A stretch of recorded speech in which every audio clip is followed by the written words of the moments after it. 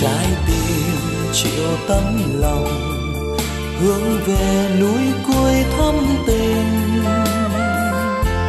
Chịu trái tim và chịu tấm lòng, dâng mẹ với chót tâm tình. Từng lời kinh khấn cầu hy sinh, ngàn lời ca chúc tụng tôn vinh. Tạ ơn mẹ, tạ ơn mẹ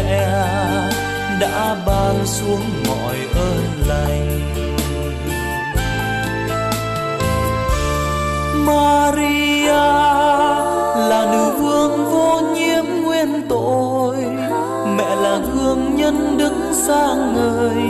Đoàn con vâng theo mẹ suốt đời.